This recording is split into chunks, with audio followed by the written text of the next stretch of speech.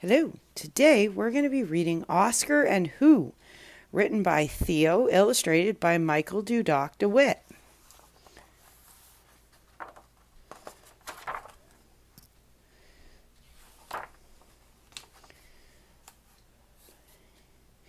Oscar sits at his bedroom window, dreaming.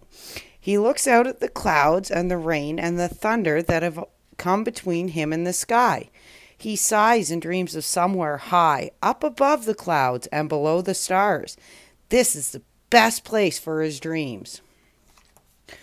Come on, Oscar, wake up! Get your head out of the clouds. We're late. Where's the rucksack and the sun cream, the maps and the passports? Oscar yawns and stretches. It's the holidays. Chaos and confusion as usual. Oscar and his parents are going on a very long journey, and everything is such a rush. Suddenly, he is all alone. Mom, Dad, where are you? Help! No one answers. Tears roll down Oscar's cheeks as he shouts again and again. Are his parents behind that dune or that one? Oscar runs, but he's alone between the sand and the burning sky, and he's afraid. Oscar shouts again, but he hears neither an echo nor a reply. Just then, a voice whispers to him Little boy, why are you raining?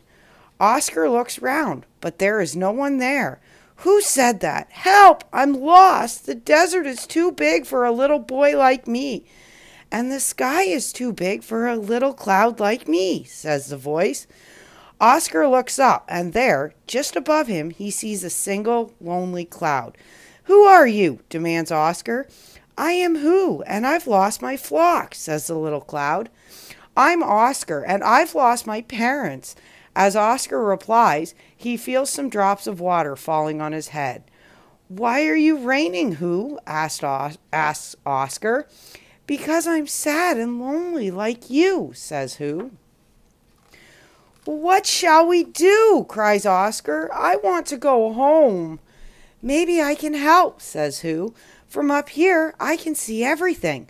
I can look for your parents and I can give you shade and tell you about my friends, the birds, and our long journeys over land and sea.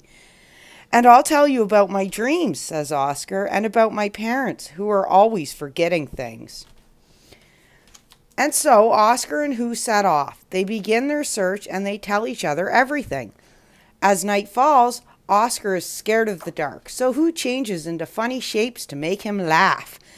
At last, Oscar sleeps, and Hoo watches over him, but the sky in Oscar's dreams is full of heavy black clouds. Next morning, when Oscar wakes, he's hungry and thirsty. Hoo, can you rain for me, please, so I can drink? But if I rain all my tears, I'll vanish, says Hoo sadly. When he hears this, Oscar starts crying. He thinks about his lost parents and about poor Hoo who cannot cry. Hoo comes closer and wraps himself around Oscar. Look, Oscar, your tears have made me grow again, he shouts. Oscar manages to smile, but asks through his tears, Hoo will I ever find my parents? So Hoo climbs up over the dunes, higher and higher into the sky, and looks far into the distance. Suddenly he sees something, and, catching a breath of wind, he flies nearer. And yes, he's sure. He shouts, Oscar, quick, over here! Oscar runs as fast as he can without stopping, without looking back towards the something that Hoo can see. Mom, Dad, is that you? Yes, Yes, Oscar, we found you at last! His parents rush towards him and they all hug each other tight. Hoo watches from above and he can't help crying with happiness. Back home, Oscar slowly recovers. His parents promise they will never lose him again. Oscar returns to his window. He stares at the sky, dreaming. And he smiles. Hoo, Promise you'll never leave me? You're the best friend I've ever had. Oscar, I give you my cloud's word. I'll never leave you. You're the best friend I've ever had.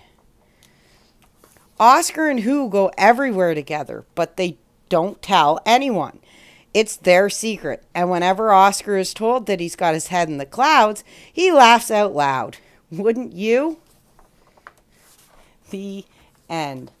And that's it for today's episode of Storytime with Jenn. We will see you tomorrow.